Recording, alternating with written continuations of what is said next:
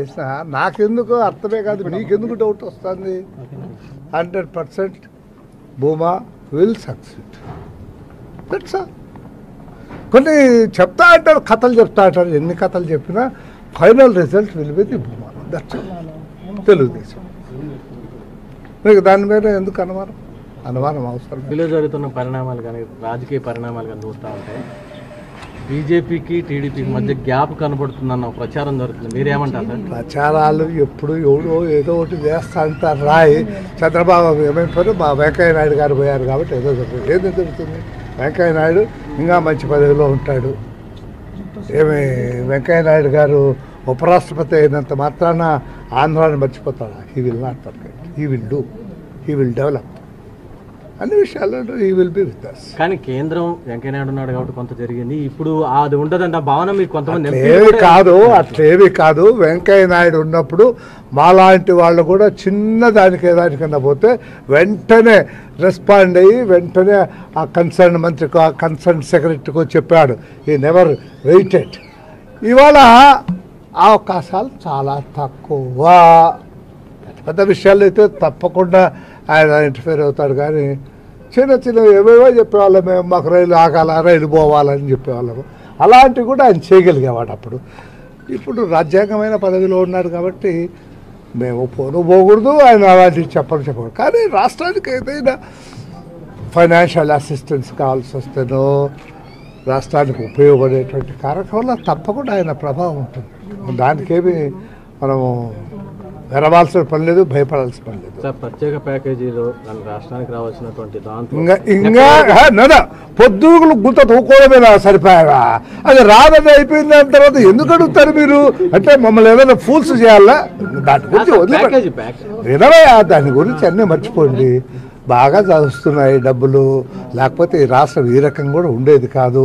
ఉన్నటువంటి పరిస్థితుల్లో అసలు నడిచేదా పోయేదా వచ్చేదా గవర్నమెంట్ అని మేమంతా అనుకున్నాం బిగినింగ్లో ఇవాళ అట్లా కాదు కదా. డెవలప్మెంట్ వర్క్స్లో శక్తి ఉంచడం లేకుండా చేస్తున్నారు. డెవలప్ జరుగుతుంది. అన్నిటికంటే ముఖ్యమైనది ఇరిగేషన్ ఎంత జరుగుతుంది ఏమి జరుగుతుంది దట్ యు మస్ట్ సీ ఇవాళ ఎవరు ప్రతి ఊరికి మేము సిమెంట్ రోడ్లు వేస్తా. ఉంటాం ఇదంటే సామాన్యమైన? నేను నేను మంత్రిగా ఉన్నాను నేను చూసా పంచాయత్ రాజ్. Drinking water. ఏమైనా సరే సాల్వ్ చేయాలనేటువంటి ప్రయత్నంలో ఉన్నారు. గుడ్ అప్రిషియేట్ థింగ్స్ ఇవన్నీ. ఎప్పుడూ ఉంటుంది. గవర్నమెంట్ అంటే ఒక రాయి వేయాలనే వాళ్ళు ఎప్పుడూ ఎదురుగా ఉంటారు. కాబట్టి వాళ్ళ గురించి పెద్దగా ఎవరు మీరు మేము ఆలోచన చేసి వింటా ఉండాలి పోతా ఉండాలి పూర్వం మాదిరి చదువు సంధ్య లేని వాళ్ళు ఎవరు లేరు.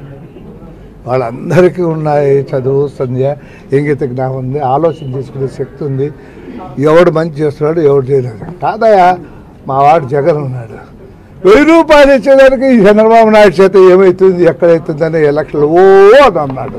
ఇవాళ రెండు వేల రూపాయలు ఇస్తారంటే మీరందరూ నమ్మితే అట్లా ప్రజలు ఇవాళ అవగారు.